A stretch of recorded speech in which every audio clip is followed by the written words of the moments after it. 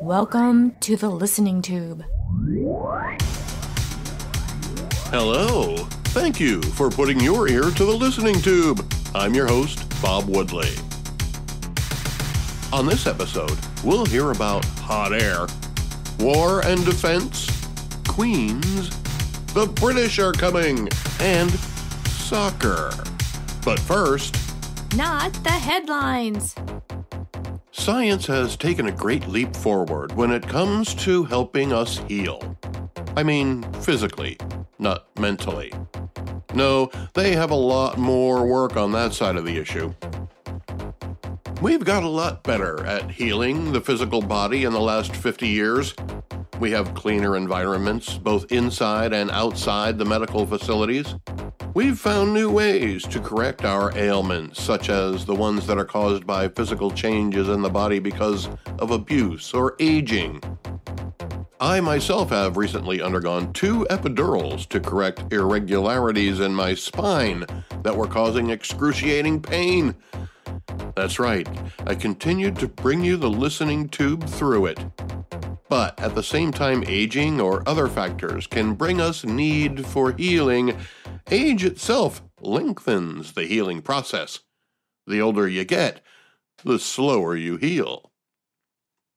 A story in Stanford Medicine last week by Sarah Williams tells us of work the researchers there are doing to figure out how a salamander can regenerate lost body parts.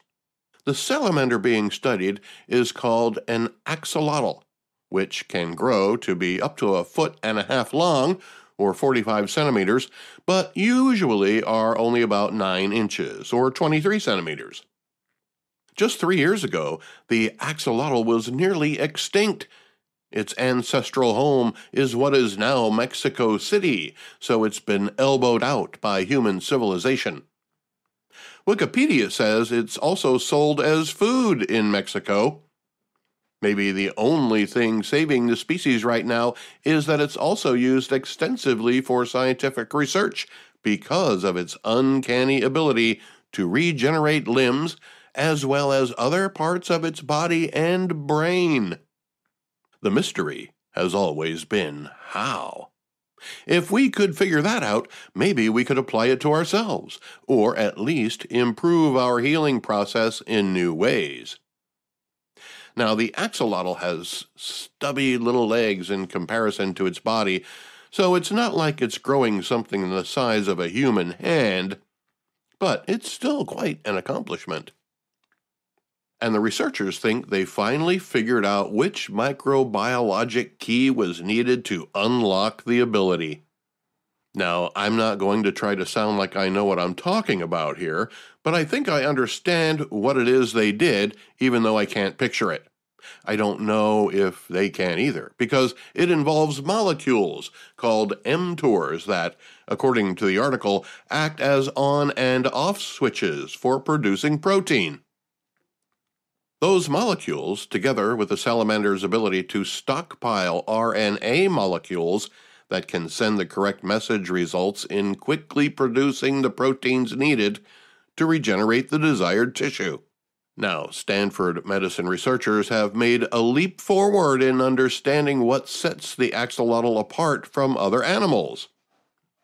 Axolotls, they discovered, have an ultra sensitive version of mTOR a molecule that acts as an on off switch for protein production. And, like survivalists who fill their basements with non perishable food for hard times, axolotl cells stockpile messenger RNA molecules, which contain genetic instructions for producing proteins. The combination of an easily activated mTOR molecule and a repository of ready to use mRNAs means that after an injury, axolotl cells can quickly produce the proteins needed for tissue regeneration. Turns out those mTOR molecules act in a totally opposite way in the axolotl than they do in humans and mice. In humans and mice, for example, if you suffer a catastrophic injury like a dismemberment, these mTOR molecules would retreat, saving energy where it could be saved, knowing there's distress somewhere on the body. In the salamander, the mTOR molecules activate and send more energy to the troubled area, telling the RNA cells what to do. In this case, activate the protein making process to regenerate the lost tissue. If we could create ways to apply even part of this process for human applications, it could revolutionize the way we heal physically. As for those thoughts in your head, well, I don't think the axolotl has the answers you're looking for. However, new research shows being a psychopath may not be such a bad thing. A story by David Adams for knowablemagazine.org tells how research has more closely defined psychopathic traits, and not all of them are necessarily bad. What's more, the results indicate we all have some degree of psychopathy. Or psychopathy. I'm going to say psychopathy. Some of the different types of psychopathy discovered or identified so far are meanness, disinhibition, and boldness. Although there's still an argument about boldness, it's certainly a contributing factor in how the other types work with each other. As it turns out, it's not the psychopathic traits themselves that create the classic horror film psychotic, but rather the way different psychotic traits combine with each other. Fearlessness and sensation seeking are also traits identified as psychotic, as are being remorseless and lacking in self blame, plus being initially poised and calm there may be a huge misunderstanding about what it is to be a psychopath. Early studies of psychopathic behavior were done in prisons, on prisoners, describing to note takers tales of horrid stories about the atrocities they were accused of committing. Some may have even exaggerated a bit, which would be another psychopathic tendency. So, much like how if you only put negative information into a computer program designed to predict the end of the world, you shouldn't be surprised when the answer it gives you is yesterday. Today, psychopathic behavior is being studied from a completely different direction. Instead of assuming the obvious place to find psychopaths was in prison, researchers began asking people on the street and in focus groups and other information gathering settings questions about psychopathic traits. That's when they learned that not only do we all have some degree of psychopathy, but that many people who can now be identified as psychopaths are just normal people who manage it through self discipline or morals, while others have used their psychopathic traits to become successful. Boldness, for example, in the absence of certain other psychopathic traits, can be a boost to many types of careers. So can disinhibition, in the sense that it can help you make important business decisions without empathy.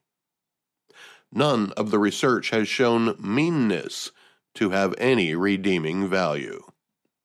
So, while we learn more about what makes us tick, we should keep in mind that our minds are beyond the comprehension of our own minds so far. That leaves the people who study these things generations of research to do and things to learn about the way our minds work and the wide variety of ways every one of us uses the traits we have for good and evil. Wait, let me say that again. For good and evil. Being a psychopath has a bad reputation thanks to where the research was done in early studies and by the way the motion picture industry portrayed the word and the characters used to demonstrate psychotic behavior. While trying to think of a movie that might demonstrate a psycho in a positive way, the first example I could come up with was the movie about the Oakland A's baseball team and its owner. I think Brad Pitt played the role of the owner. Anyway, I think that portrayal was a great demonstration of psychotic behavior in a positive way, even if we didn't realize it at the time. Certainly, the movie wasn't pitched, pun intended, as a story about a psychotic baseball team owner. Because if you include the word psycho in the title or description, the audience will expect somebody to be killed, not win baseball games. We're told that autism has a spectrum. I consider it more of a severity issue as opposed to a spectrum description, but maybe I need more education on that. But if our brains can give us different types of behavioral characteristics that can combine in different ways to create the good, the bad, and the average in all of us, that seems more like a spectrum situation to me. We don't even yet know how many colors we'll eventually have in the spectrum of psychopathy. From a broad sense, it seems the more psychotic traits you have, the more likely it is that some of them that don't mix well could take over your personality. The key might be to learn how to regulate one or two of them in order to stay out of trouble. On the other hand, if one or two traits combined leads to a successful business venture because of your willingness to take a chance and put yourself in a position to succeed, then congratulations, you crazy nut job. There's still very little research done on the positive aspects of psychopathy as opposed to the negative. As recently as 2011, a book was published called The Psychopath Test, and it only dealt with disinhibition and meanness. Since then, new questions are being asked. Psychotic behavior is being examined from a much more neutral starting point rather than the negative assumptions of earlier research.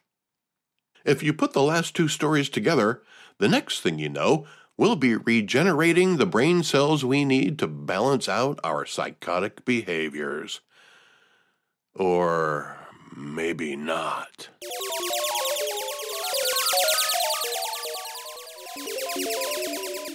Let's go back through the listening tube for This Week in History.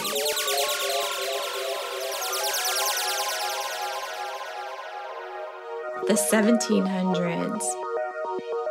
This week in 1709, Bartholomew de Gusmão demonstrates the lifting power of hot air in an audience before the King of Portugal in Lisbon.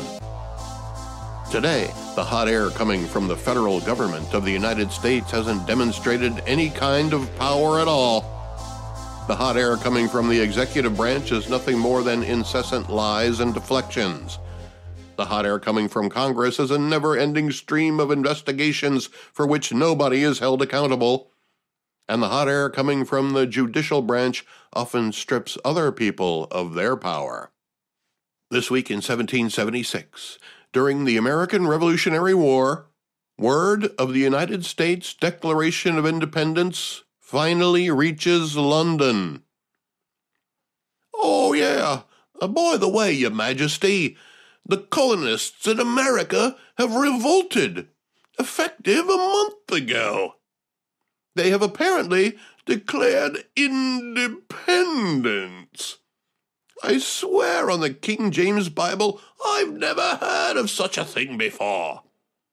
Shall we send a messenger to tell them to stop it, lest they anger your highness? History tells us the king was annoyed, as a war was fought because of the declaration. Thanks to France, the colonists were able to continue that independence they declared. It's been working pretty well since then. This week in 1782, George Washington orders the creation of the Badge of Military Merit to honor soldiers wounded in battle. It is later renamed to the more poetic Purple Heart and has the profile of Washington on it. This week in 1789, the United States War Department is established. So that means the United States fought and won a war against one of the most powerful kingdoms in the world before they had a department for it. They also had a pretty good education system until they had a Department of Education. The 1800s. This week in 1806, Francis II, the Holy Roman Emperor, abdicates, ending the Holy Roman Empire began in 1250 but derived power directly from ancient Roman rulers, France would take over. This week in 1846, the Smithsonian Institution is chartered by the United States Congress after James Smithson donates $500,000. I wonder what their annual budget is today. I'm going to look that up. He's gonna look it up. He's really gonna do it. I want the truth. You can't handle the truth. Today, the Smithsonian Institute's budget is about $1.25 billion a year. That covers salaries, facilities capital, revitalization, planning, and design of future projects and construction costs, according to their website. 30 million people visit the various Smithsonian museums every year free of charge. The 1900s. This week in 1909, Alice Huyler Ramsey and three friends become the first women to complete a transcontinental auto trip from New York City to San Francisco. The friends were two of her senator husband's sisters and a 19 year old named Hermine Jahns. Wikipedia says they used maps from the American Automobile Association and also followed telegraph wires, as they were likely to lead to a populated area. The total trip was 3,600 miles, only 152 of which were paved. The company that made the car, Maxwell, would be responsible for maintenance along the way. The only one of the four who could drive was Alice Ramsey, and she also changed 11 tires, cleaned the spark plugs, and repaired a broken brake pedal. They caught bed bugs, were surrounded by an Indian tribe, and crossed paths with a wanted killer. They were greeted by crowds when they arrived in San Francisco three weeks late. I guess nobody calculated how long it would take four women to get ready each day. Alice didn't stop there, though. That first transcontinental journey was one of 30 times she would make the drive between 1909 and 1975. This week in 1912, the Bull Moose Party meets at the Chicago Coliseum. The Bull Moose Party was the progressive arm of the Republican Party. Former President Theodore Roosevelt was their candidate for that office in 1912. Having split the Republican Party, the Democrat nominee, Woodrow Wilson, won the election. There's a lot of talk today about third party candidates, and every one of them risks doing the same thing to one of the two top parties. Now, we also have third parties like the Libertarian Party, the Communist Party, and others, but none of them have as many members as independents. Maybe a new political party would do better with a cooler name. Alice Cooper suggested the Wild Party in a song, but that might scare off some conservatives. Bull Moose Party was a pretty cool name for its time. If I was going to start a new political party today, I think I would call it the Laser Shark Party. This week in 1926, Harry Houdini performs his greatest feat, spending 91 minutes underwater in a sealed tank before escaping. Imagine if that was a live television show. Geraldo Rivera would be the host, and unlike Al Capone's vault, there would actually be something in there when it was opened. It would be Harry Houdini. This week in 1940, Estonia was illegally annexed by the Soviet Union. Just another example of how Russia has had a habit of invading other countries. Today's Russia is no different than it was in 1940 or for generations before that. This week in 1942, Queen Wilhelmina of the Netherlands becomes the first reigning queen to address a joint session of the United States Congress. I could find only one other queen who had the privilege to address the U.S. Congress, and she, of course, was the late Queen Elizabeth II of England. Now that England has a king, odds are pretty good the next queen to address the U.S. Congress will be a drag queen. This week in 1949, 160 years after it was created, U.S. President Harry S. Truman signs the National Security Act Amendment, streamlining the defense agencies of the United States government and replacing the Department of War with the United States Department of Defense. This week in 1965, the largest swimming pool in Europe was opened in Fürstenfeld, Austria. At over 247,000 square feet, it's now only the eighth largest pool in the world. Egypt has one that's over a million square feet. Edgewood Pool in Coal Township, Pennsylvania, was at one time the largest in Pennsylvania when I started taking swimming lessons there. I don't know how many square feet it was, but it held 2 million gallons of water. There's a high school stadium parking lot there now. This week in 1974, as a direct result of the Watergate scandal, Richard Nixon becomes the first president of the United States to resign from office. His vice president, Gerald Ford, becomes president. Gerald Ford wasn't Richard Nixon's original vice president. Spiro Agnew was Nixon's VP, but had to resign after pleading no contest to tax evasion in 1973, becoming only the second American vice president to do so. Ford was House Republican leader at the time, and Nixon tapped him to replace Agnew. When Nixon resigned after the Watergate scandal, Gerald Ford became the only president of the United States to not be elected to the post in a national election. Ford would pardon Nixon in the hopes of reuniting the citizens.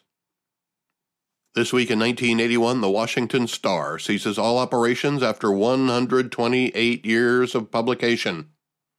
I worked for a newspaper when it closed after 95 years of operation the Oxnard Press Courier in Oxnard, California. It's where I began my career as a pressman, which lasted me 20 years, 15 more after the Press Courier closed. This week in 1984. My fellow Americans, I'm pleased to tell you today that I've signed legislation that will outlaw Russia forever. We begin bombing in five minutes. United States President Ronald Reagan while running for re election, jokes while preparing to make his weekly Saturday address on National Public Radio. I was working for Armed Forces Radio in Guam at the time, and we always recorded the feed to play later because of the vast differences in time zones. So those of us who worked at the station were aware of the remark and we were told in no uncertain terms to never play it on the air, which we didn't but we got some chuckles out of it, despite the fact that Guam was, and probably still is, the only bomber base outside of the continental United States. So if the bombings were to commence in five minutes, our flight line would have been very busy.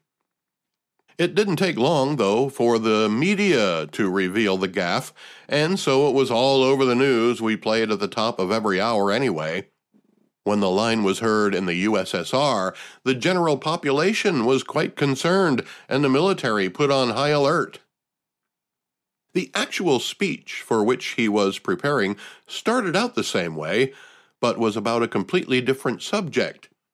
It said, My fellow Americans, I'm pleased to tell you that today I signed legislation that will allow student religious groups to begin enjoying a right they've too long been denied. The freedom to meet in public high schools during non school hours, just as other student groups are allowed to do. Yeah, I know my Reagan's not that good. This week in 1986, a low pressure system that redeveloped off the New South Wales coast dumped a record 328 millimeters, or 13 inches, of rain in a single day on Sydney. Climate change, said no one. This week in 1988, Japanese American internment resulted in U.S. President Ronald Reagan signing the Civil Liberties Act of 1988, providing $20,000 payments to Japanese Americans who were either interned or relocated by the United States during World War II. Today, the governor of California is considering a proposal to pay reparations to his citizens who are descendants of North American slaves even though California was a non slave state since its founding. But California's reparations are for more than slavery only. While enslavement is one of the many categories that would make one eligible for reparations, a look at the titles of the chapters in the California Reparations Report include racial terror, political disenfranchisement, housing segregation, separate and unequal education, racism in environment and infrastructure, and stolen labor and opportunity. This week in 1991, Tim Berners Lee releases files describing his idea for the World Wide Web. WWW debuts as a publicly available service on the Internet. The 21st century. And this week in 2007, an EF2 tornado touches down in Kings County and Richmond County, New York State. The most powerful tornado in New York to date, and the first in Brooklyn since 1889. The Brooklyn Cyclones had no comment. The listening tube will return at the speed of sound. Contact the Listening Tube by calling 570 601 1101 or email the listening tube at outlook.com. I'd like to take a moment to talk about soccer, or what everywhere but America calls football. I'm not going to mince words here. I don't like soccer at all.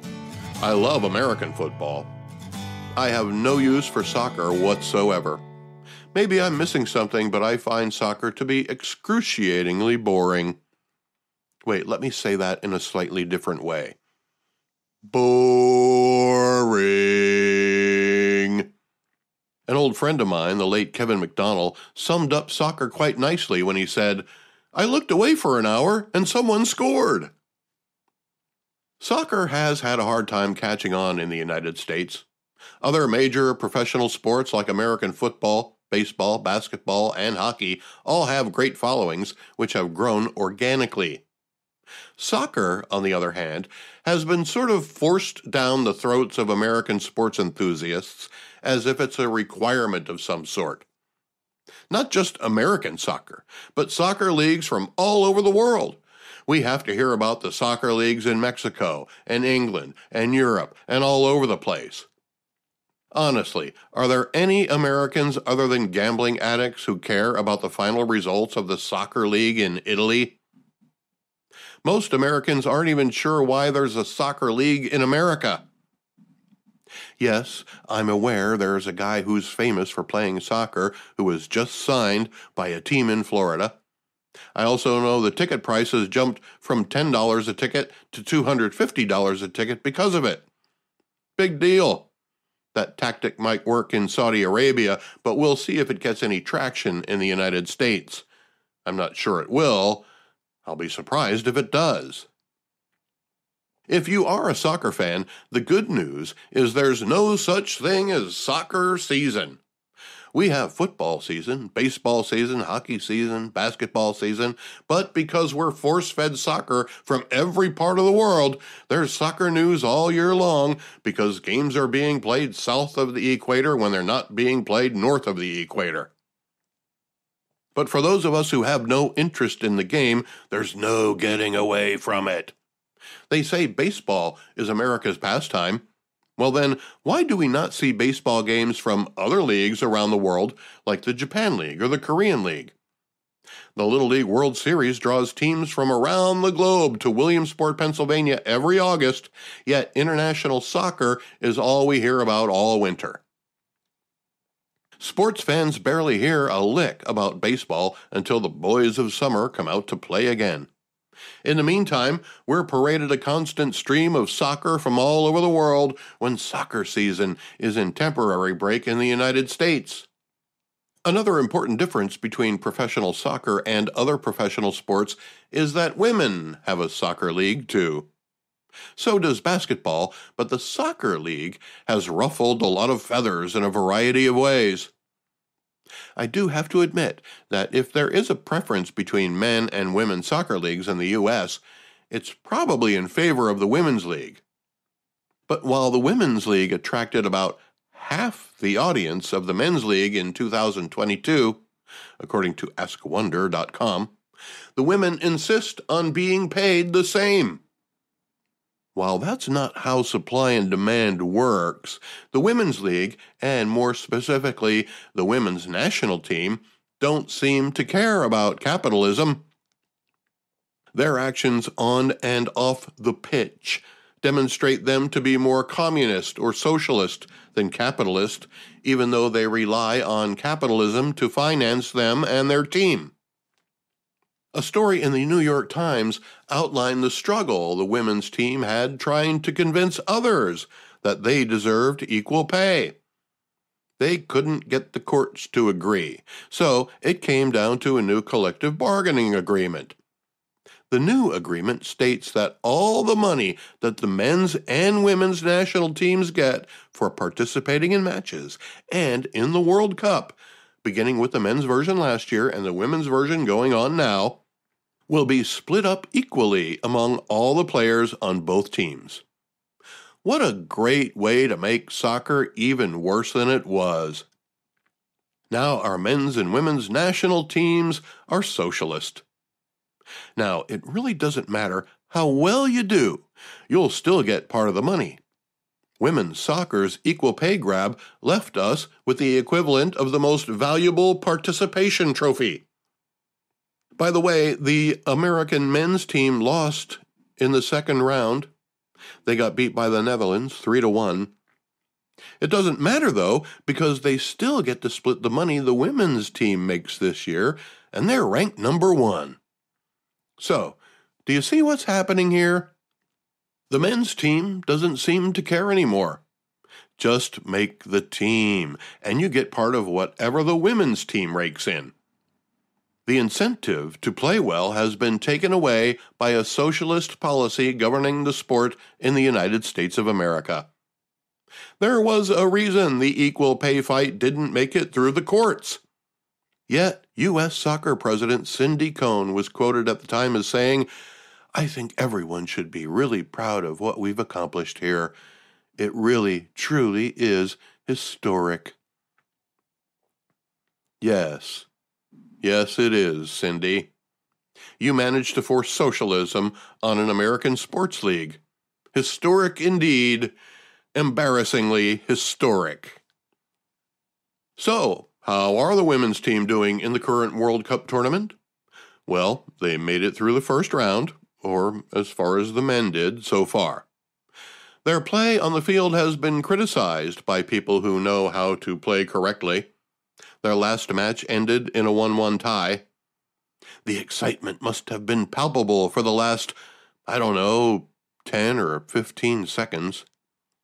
Oh, wait, only the official timekeeper knows how much time is left in the match. It's not like there's one more out in the bottom of the ninth, or 10 seconds left on the clock in the stadium where everybody can see it, including the players. No, in soccer, not even the players know when the game will end. No putting on the rally caps, no last second strategy or play your coach has been saving for this exact moment. Soccer players just continue to drone on as they had for more than 90 minutes of play time until they're suddenly told to quit playing. Game's over, go home. It's almost like when a band is recording a song in the studio and the end of the song is just the same measure over and over while it fades out. But the band doesn't know the engineer already turned off the recording a minute ago.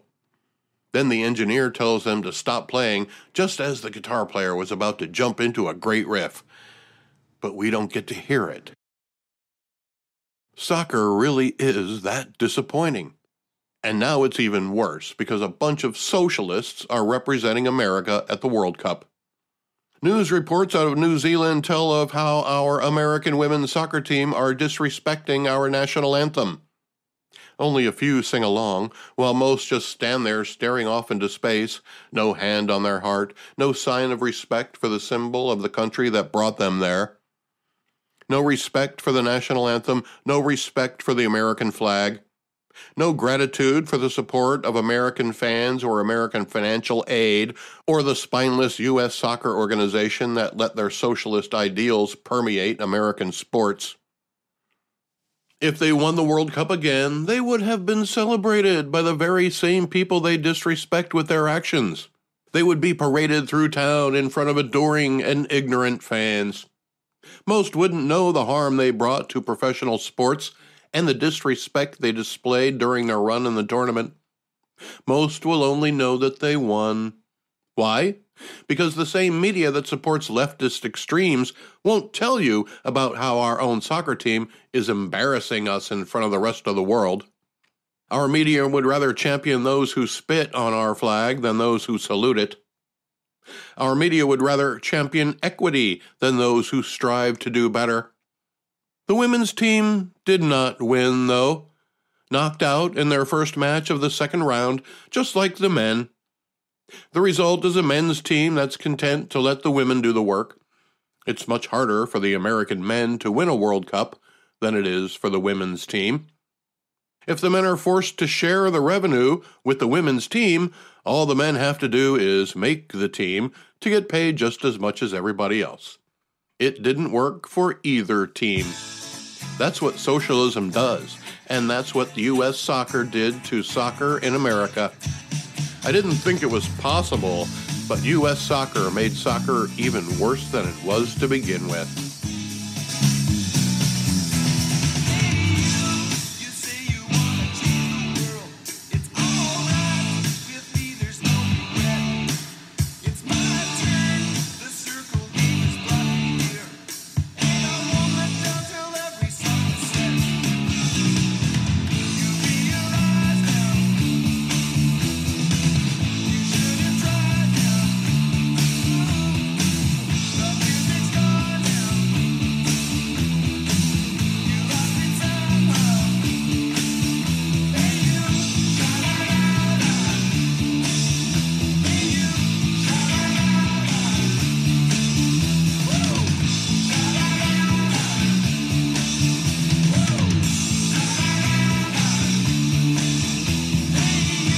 The Listening Tube is written and produced by yours truly.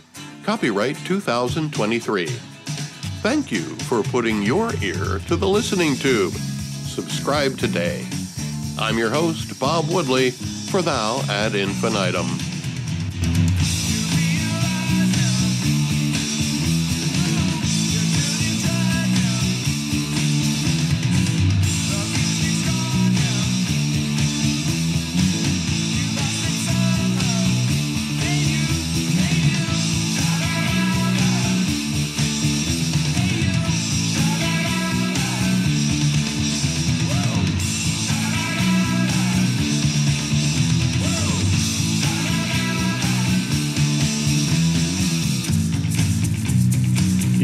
Stop playing now.